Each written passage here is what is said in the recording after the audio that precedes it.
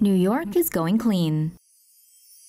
January 25th was a big day for clean energy in New York after the Long Island Power Authority approved a contract for what's set to be the largest offshore wind farm in the U.S. Deepwater Wind is building a 90 megawatt wind farm near Long Island's South Fork Peninsula.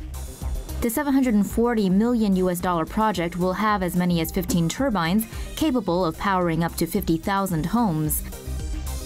The turbines, each about 600 feet tall, will be connected via an undersea cable to a substation in East Hampton. Construction could begin by 2019, with the wind farm completed and operational by as early as 2022. The project is part of New York Governor Andrew Cuomo's vision to source 50% of the state's electricity from renewables within 13 years. Keep watching for more stories about clean energy. This solar panel runs on bacteria power. Researchers at Binghamton University have come up with an interesting way to harness energy using a resource we have far too much of bacteria. To harness power from bacteria, scientists arranged nine biosolar cells in a 3x3 pattern to form a scalable and stackable panel. The cells use cyanobacteria, which can be found in aquatic and terrestrial habitats, as a source of clean and sustainable energy. In the daytime, oxygen and electrons are released through photosynthetic reactions. At night, electrons are produced from the bacteria's respiratory activities. 5.59 microwatts were generated in 12 hour day to night cycles over a total of 60 hours. Solar panels produce about 200 watts in a 6 by 10 configuration. The biosolar cells in the same pattern will only generate 3.726 100,000th watts. Though not the most efficient, the technology has the potential to be a more reliable energy source. Once the panel is functional, it could power small wireless systems in remote areas where frequent battery changes are impractical. The Binghamton team's work has been published in the journal Sensors and Actuators B Chemical. New form of burial freeze dries bodies and turns them into plant food. A Swedish and an Irish company have developed new forms of burial that are more eco-friendly than traditional methods. Swedish company Promessa Organic has developed a method by which the human body is converted into soil that can sustain plant life. The process is similar to that of freeze drying. First, the body is frozen to minus 18 degrees Celsius and submerged in liquid nitrogen. Under such low temperatures, soft and elastic materials become hard and brittle, The body is then refrozen to minus 196 degrees Celsius, causing crystallization. After two hours, the liquid nitrogen evaporates as a harmless nitrogen gas. 60 seconds of ultrasonic vibration reduces the remains to powder. The powder is passed to a vacuum-sealed chamber where frozen water sublimates and is released as steam. Afterwards, mercury, sodium, and more than 50 other foreign substances are removed. The remains are packed into an organic coffin and buried. After a year, the remains turn into soil, which can feed a tree. Irish company Eco Legacy offers a similar burial service, with the exception that the energy that is expelled is reused in future burial processes. Both processes are more ecologically friendly than traditional burial and cremation. In traditional burial, coffins and chemicals are introduced into the environment. In cremation, energy is wasted in the form of heat, and toxins are released to reduce the body into ashes. Cameroon turns human waste into clean power. Two towns in Cameroon are installing biogas systems to turn human waste into sustainable energy that can provide fuel and electricity for local communities.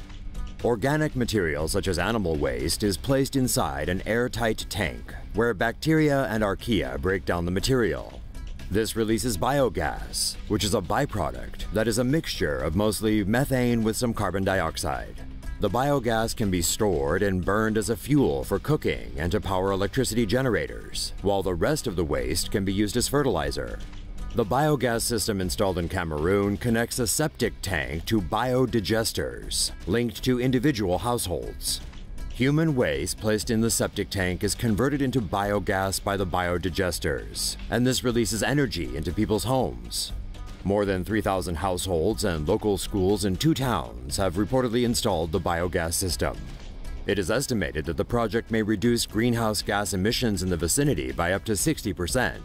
The project was initiated by Bioenergy Cameroon, a non governmental youth organization. The group trains local students, especially female students, on how innovative technology like solar power and biogas work. Amazon is constructing a wind farm that contains 100 turbines. Amazon has announced a new project that aims to result in renewable energy that will power thousands of homes across America. Amazon Wind Farm Texas is underway. The diameter of each wind turbine will be two times the wingspan of a Boeing 747 plane.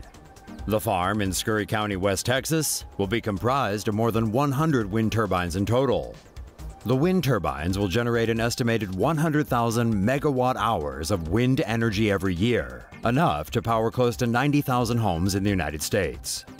The latest development by the company, along with four other clean energy projects, should generate 2.6 million megawatt hours of energy each year to power more than 240,000 homes. Solar powered computer can provide water, energy, and internet the developers of a 15-ton solar-powered computer hope it can change the lives of millions in developing countries. The Spanish and Italian creators of the Watly machine aim to provide clean water, electricity, and connectivity. Trials have already taken place in sub-Saharan Africa, where millions live without electricity and clean water. A prototype Watly machine has been tested in rural Ghana, and developers plan more trials in Nigeria and Sudan. The final design of the solar-powered 40-meter-high, 15-ton Watly machine will be presented in July. Photovoltaic panels power an internal battery, which provides energy for a graphene-based water treatment system. The developers say the system can supply 5,000 liters of safe drinking water per day. The Watly machine can provide wireless internet connectivity within a radius of 800 meters, Electricity created by the battery can also be used to charge electronic devices.